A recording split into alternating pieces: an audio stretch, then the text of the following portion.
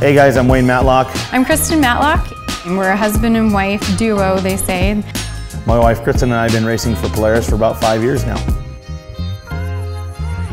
These are our pre-runners. They're the Polaris RZR Pro XPs. The S&B particle separator is located in a nice new spot in the wheel well, and it has a variable fan speed, so it's a lot quieter.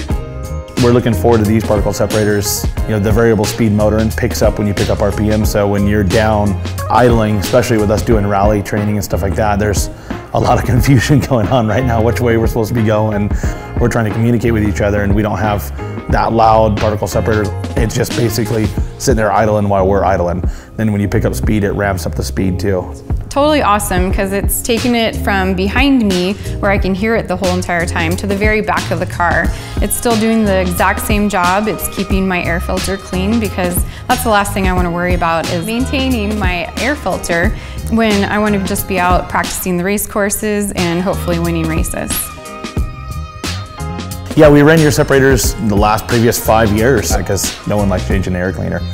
So with uh, particle separators, we don't even worry about it. You go a whole year on the same air filter and we just change them because they're free. So